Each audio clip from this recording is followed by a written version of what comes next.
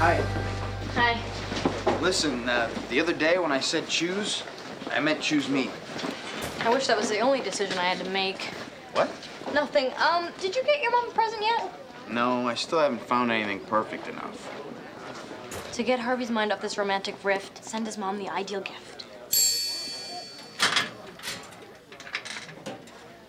You're kidding. Uh, how about this? Is that Heidi and her goat friends? Could be. Oh, my mom's been wanting it for years, but they stopped making it. Three cheers for them. My mom will pass a stone. How on earth did you ever get this? Magic.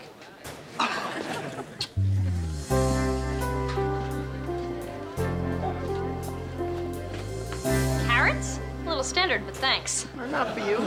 I bought you a pony named Petey. So do you like me better? Dash, Oh, come on. Look, there's an unimaginative mortal boy and me. What's your decision? I'm thinking nunnery. Tick tock, clock's ticking, Sabrina. Your mom or your magic.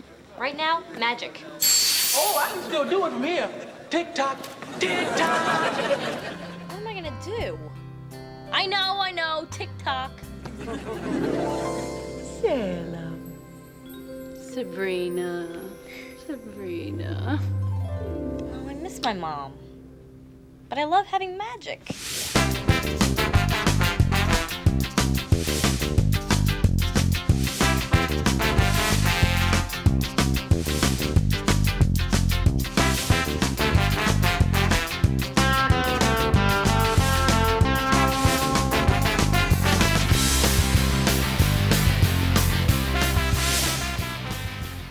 Know what I have to do.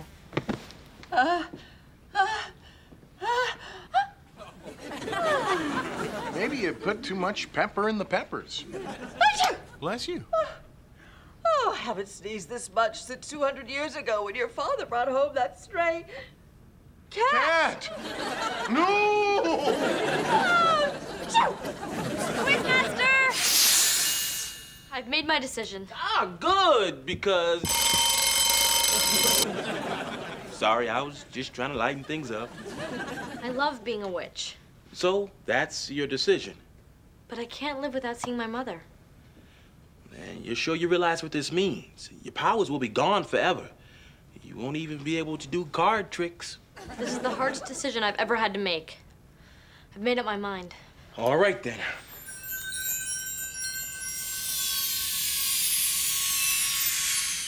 Hey, you okay? I've seen more color in plain yogurt. I feel nervous and insecure and self-conscious and extremely depressed. And the transformation is complete. You're a normal teenager again.